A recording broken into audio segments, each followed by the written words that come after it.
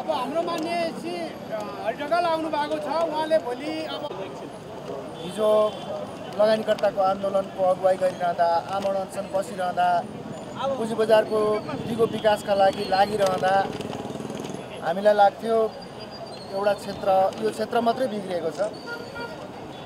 तपाईँहरूकै हार्दिकताले सदनसम्म पुगेको छु र त्यहाँ बसेर हेर्दाखेरि यति धेरै व्यतिथि यति धेरै व्यतिथि व्यतिथिका चाङमा छौँ।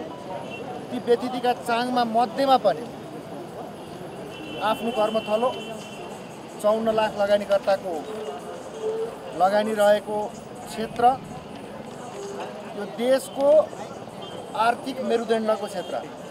यो क्षेत्रलाई राज्यले कसरी हेर्दो रहेछ यसप्रतिको बुझाइ कस्तो रहेछ भनेर छर्लङ्ग हुने अवसर पाएको छु।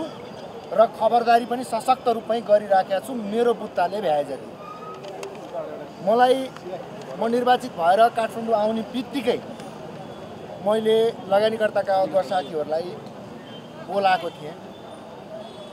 कतिपय सन्दर्भमा केही साथीहरू आउनुभयो केही साथीहरू आउनु भएन मैले एउटा साझा एउटा सशक्त महासङ्घ बनाउनु होला। लगानीकर्ताको सशक्त महासङ्घ भयो भने भोलिका दिनमा म सदनमा लगानीकर्ताको हक हितका लागि प्रस्तुत भइरहँदा आउने एजेन्डाहरूको लागि पनि सहज हुनेछ भनेर मैले आह्वान गरेका थिएँ।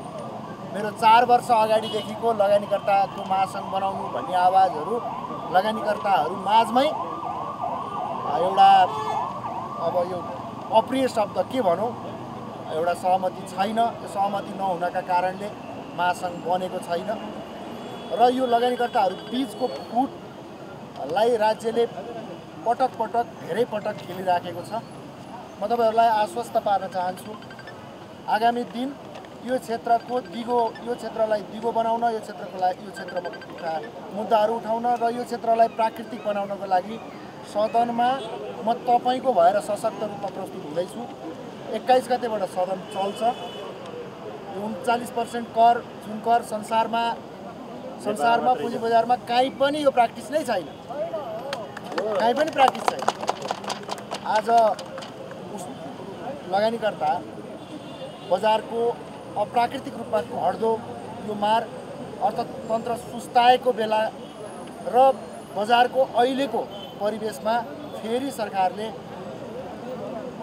विधेयक मार्फत सरकारले बजेट मार्फत अप्रत्याशित रूपमा यो कर थुपार्न अथवा म त एउटा शब्दमा भन्न चाहन्छु लगानीकर्तालाई लगानीकर्ताको सम्पत्तिमाथि लामो हात गर्न खोजिराखेका छ। यो लामो हात गर्न दिइने छैन। म सबै लगानीकर्ताहरूलाई एकजुट हुन यो मुद्दा मैले साझा मुद्दा सदनमा प्रस्तुत गर्ने हो। साझा मुद्दा प्रस्तुत गर्दै गर्दाखेरि सम्पूर्ण लगानीकर्ता साथीहरू अगुवा साथीहरूलाई एकमत एकजुट हुन। यो न कुनै एउटा ठुला लगानीकर्ता न कुनै साना लगानीकर्ता यो स्ल्याबमा जसरी ट्याक्स लगाउन खोजिँदैछ यो भनेको सबैलाई मार पर्ने विषय हो। म आफै पनि यसमा सदनमा सशक्त रूपमा प्रतिकार गर्नेछु। यो आश्वस्त पारी र लगानीकर्ताका अगुवा साथीहरूलाई एकमत राख्न र एक हुन।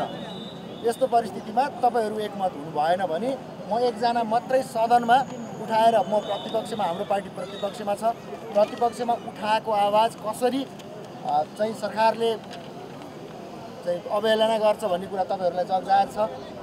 यो विधेयक संशोधनको लागि विधेयक यदि दर्ता गर्ने हो भने पनि विधेयक फे त्यो संशोधन विधेयक फेल हुन्छ। सरकार पक्षबाटै यो संशोधन प्रस्ताव आउनुपर्छ।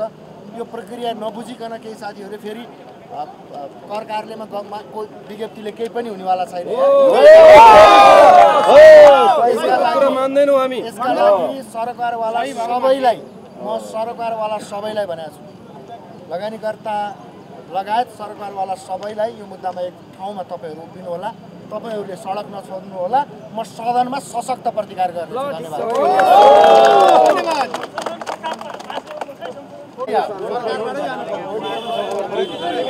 सरकार पक्षले।